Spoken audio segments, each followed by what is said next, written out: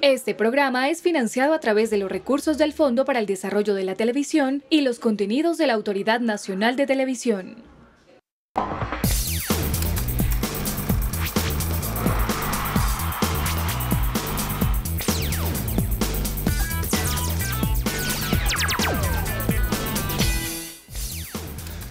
Hola, bienvenidos. Ella es Mayra. Aquí abajo están nuestras redes. Yo soy López y esto es 13 News queremos presentarles un nuevo carro que funciona con energías diferentes a la eléctrica y a la de gasolina. Esta creación es de un estudiante nigeriano que con la recolección de varias partes recuperadas de la chatarra creó un Volkswagen Escarabajo que funciona con energía solar y energía eólica.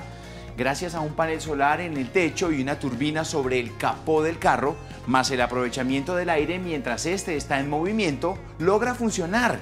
El costo de esta creación hecha en Nigeria fue 6 mil dólares, algo así como 18 millones de pesos, o sea, más barato que un carro convencional. Su batería se demora en cargar 5 horas.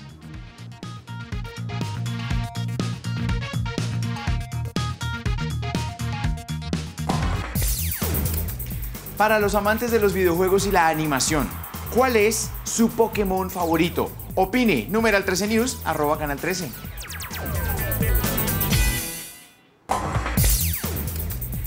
Y hablando de carros, conozca este nuevo videojuego de carreras de carros. Se llama Forza Horizon 3, un videojuego de carreras de mundo abierto.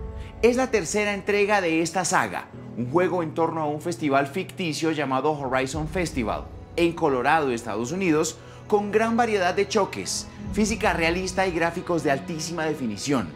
El objetivo es avanzar a través del juego mediante la obtención de pulseras por conducción rápida, destruir propiedades, ganando carreras y otras habilidades de conducción. El estreno de este juego será en el mes de septiembre de 2016.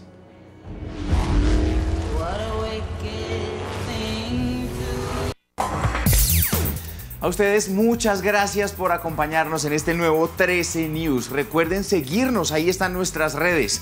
Ella es Mayra, yo soy López y en cualquier momento más 13 News.